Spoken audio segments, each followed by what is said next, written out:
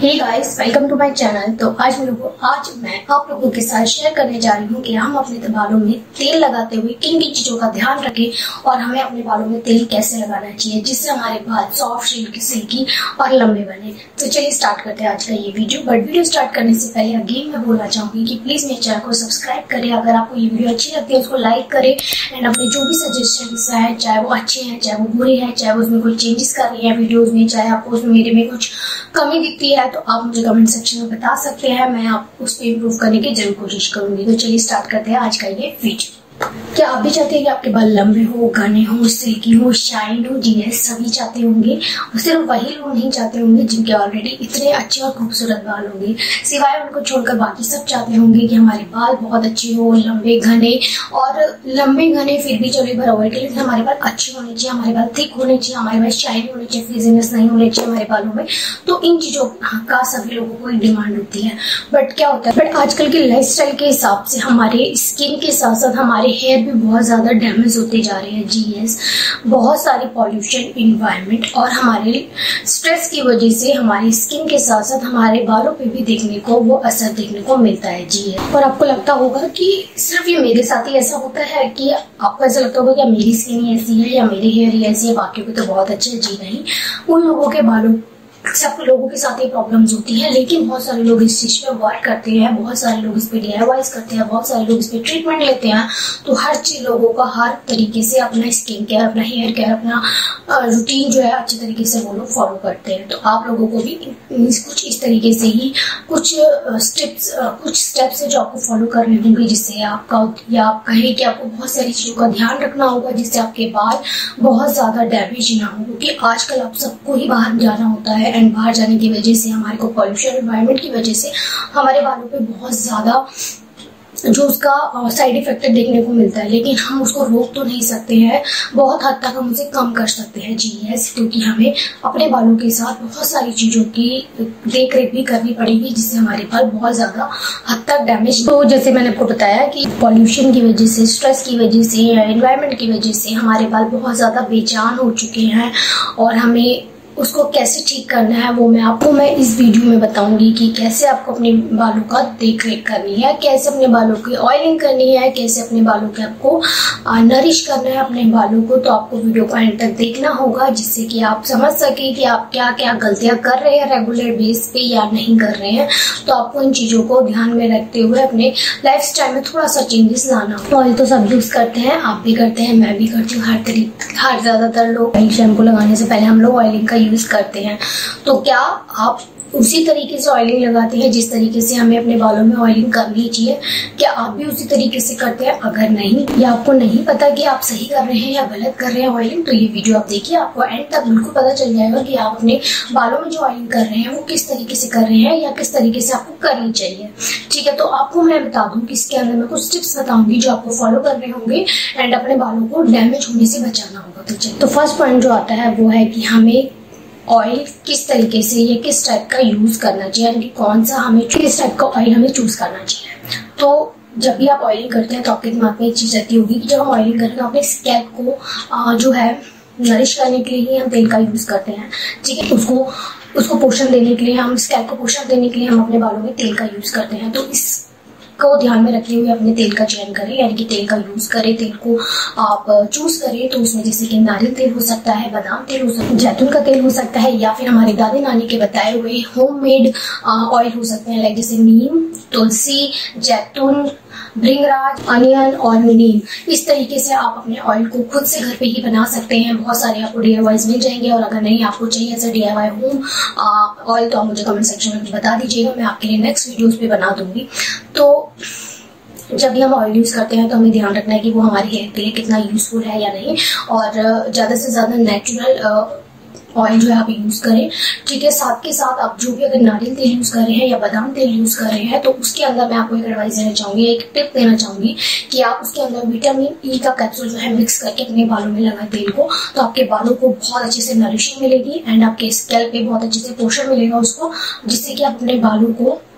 अच्छे से घने, लंबे और शाइनी बना सकते हैं। चलिए नेक्स्ट चलते हैं सेकंड पॉइंट की तो नेक्स्ट पॉइंट सेकंड पॉइंट जो आता है कि ऑयल मसाज करने से पहले अपने बालों को प्रिपेयर कर लीजिए तो जब भी आप अपने ऑयलिंग मसाज करते हैं, उससे पहले अपने बालों को अच्छे से प्रिपेयर करें तो वो कैसे अपने बालों को अच्छे से कॉम करें। कोई भी टेंगल नहीं होना चाहिए, कोई भी उलझे हुए बाल आपके नहीं होने चाहिए, वरना वो बहुत अच्छे से मसाज नहीं हो पाएगी। तो पहले अच्छे से कॉम कर करें अपने बालों को और फिर उसको पार्टीशन करके आप दो तरफ़ पार्टीशन कर ले एंड फिर आप ऑयलिंग का यूज़ करें। इससे क्या होगा? आपके पूरे स्कैल्प पे जो है ऑयल बहुत ही ईजिली लगेगा और आपके बालों को, वो जड़ों तक पहुँचने में हेल्प करेगा तेल को। ठीक है, तीसरे पॉइंट की तरफ़ हम चलते हैं जो कि मसाज जीएस अब आपको अपने ऑयल से मसाज कैसे करनी है? जब भी आप अपने ऑयल से मसाज करते हैं तो ज़्यादा ऑयल आपको यूज़ नहीं करना है। एक से दो चम्मच आप अपने ऑयल को यूज़ करें। तो अपने फिंगर टिप्स का यूज़ करें जीएस इस तरीके के फिंगर टिप्स का यूज़ करें और अपने तेल में फिंगर टिप्स को डिप करें एंड इस तरीके से आप। स्कैल्प पे लगाए एंड बहुत ही धीरे धीरे से मसाज करना शुरू कर। बहुत ज़्यादा आपको तेल का यूज़ नहीं करना है लाइक जैसे आपने सोचा कि स्कैल्प को बहुत अच्छे से मैं ऑयली बना लूँ, जिससे मेरे को और ज़्यादा नरिश मिल जाएगा मेरे बालों को, या मेरे बालों में बहुत अच्छे से ज़्यादा तेल लगाने से मेरे बालों की ग्रोथ बहुत जल्दी होगी तो ऐसा बिल्कुल नहीं है और आपके बालों को डैमेज कर सकता है। तो ध्यान रखें ऑयलिंग का जो है कम से कम यूज़ करें। एक से दो चम्मच से ज़्यादा नहीं, क्योंकि अगर आप बहुत ज़्यादा ऑयलिंग का भी यूज़ करते हैं तो वो आपके जो भी गंदगी होती है आपके आसपास, वो उसे जो है सोक कर लेता है, यानी कि उसे ऑब्ज़र्व कर लेता है और आपके हेयर पे जाके वो चिपक जाता है जिसे वो आपके पूरे टाइम में जब तक ऑयल लगा रहता है या बहुत अच्छे शैम्पू के बाद अगर नहीं निकलता है तो आपके हेयर को वो डैमेज कर सकता है, आपके स्कैल्प को वो डैमेज कर सकता है। तो ध्यान रखिए बहुत ज़्यादा ऑयलिंग का यूज़ ना करें, कम से कम यूज़ करें,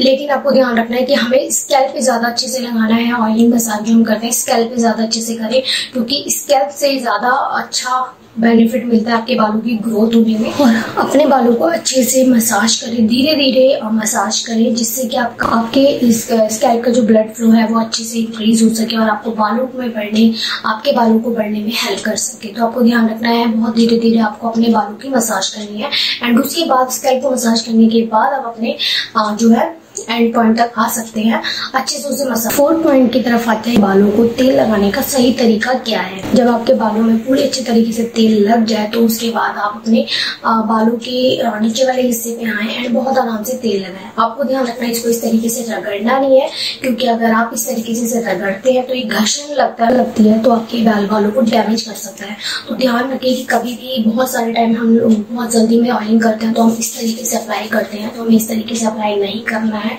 हमें बहुत ही सिंपल तरीके से बालों में तेलों को इस तरीके से मसाज करना है। ठीक है स्कैल्प को बहुत अच्छे से आपको धीरे धीरे अप्लाई करना है एंड फिर लास्ट में आते आते आपको बहुत अच्छे से इसको इस तरीके से लगाना है, ना कि इस तरीके से। तो इस चीज़ का ध्यान रखना है क्योंकि ये आपके बालों को बहुत हद तक डैमेज कर दे नेक्स्ट और लास्ट पॉइंट आता है, अपने बालों में तेल कब तक आपको छोड़ना चाहिए? तो आपको हमेशा जब भी आप तेल लगाते हैं तो एक से डेढ़ घंटा ही आप अपने बालों में तेल का यूज़ करें, उससे ज़्यादा आप ना करें। वैसे बहुत सारे लोग रिकमेंड करेंगे कि आप रात में लगाएँ और मॉर्निंग मॉर्निंग में वॉश कर ले बट मेरा जो एक्सपीरियंस है एंड मैं जो आपको बताना चाहूँगी कि जब भी आप हेयर ऑयलिंग करते हैं तो हम ऑयल मॉर्निंग में भी कर सकते हैं और छह से सात घंटे के लिए या तीन से चार घंटे के लिए अपने बालों में तेल को छोड़ सकते हैं। उसके बाद आप अपने बालों को अच्छे से धो सकते हैं। तो ध्यान रखें कि जब भी आप अपने बालों में तेल लगाएँ तो बहुत ज़्यादा टाइम के लिए तेल को ना छोड़ें। क्योंकि अगेन ये आपके बालों में बहुत ज़्यादा अगर गंदगी जम जाती है तो उसको निकालने में बहुत मुश्किल होती है और बहुत अच्छे से भी रिमूव नहीं होते हैं आपको बहुत ज़्यादा शैम्पू का यूज़ करते हैं, जो कि हमारे बालों को ड्राई करता है। ध्यान रखें क्योंकि ऑयलिंग भी आपको बहुत देर तक नहीं छोड़नी है। हाँ, बाल धोने से एक दो घंटे पहले भी आप लगा सकते हैं या तीन चार घंटे पहले के लिए भी आप लगा सकते हैं। उसके बाद अपने हेयर को अच्छे से वॉश कर सकते हैं। नेक्स्ट में आपको ठीक है तो यही बात है कि जब भी अगर आप तेल बहुत ज़्यादा लगाते हैं तो उसको निकालने में भी आपको शैम्पू का बहुत ज़्यादा यूज़ हो जाता है जिससे वो आपके बालों को डैमेज कर सकता है। और अगर आप बहुत देर तक रखते हैं तो भी वो आपके बालों में गंदगी इकट्ठा कर देता है। यानी कि जो भी छोटे मोटे हमारे घरों में भी डस्ट होता रहता है जो कि हमें नहीं दिखता है तो वो हमारे बालों में आके चिपक जाएगा और उसे निकालने में बहुत टाइम लगेगा और बहुत ज़्यादा शैम्पू का भी आपको यूज़ करना पड़ेगा। बहुत इजीली मतलब वो तेल नहीं निकलेगा। तो आपको यूज़ जो है तो आपको ध्यान रखना है कि कम से कम तेल का यूज़ करें। और कभी भी दो घर, दो दिन या तीन दिन के लिए बालों में तेल लगा के ना छोड़े, ये सोचकर कि हमारे बालों को मॉइस्चर मिल रहा है, हमारे बालों को नरिश मिल रहा है, ऐसा नहीं होता ये आपके बालों को डैमेज करता है। तो अगर आप भी इन टिप्स को फॉलो करते हैं तो तो आप सही तरीके से बालों को